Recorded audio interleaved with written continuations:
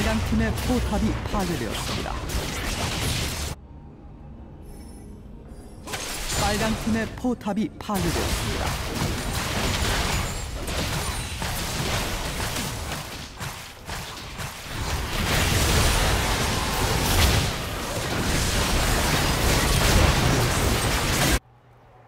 도저히 막을 수 없습니다. 빨강 팀 제압되었습니다.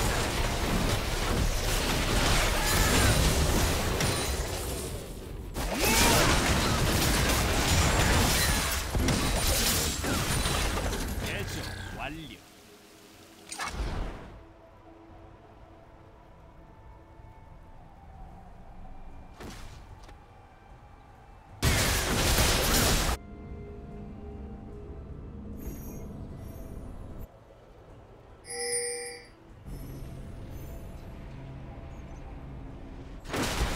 파랑 팀의 포탑이 파괴되었습니다.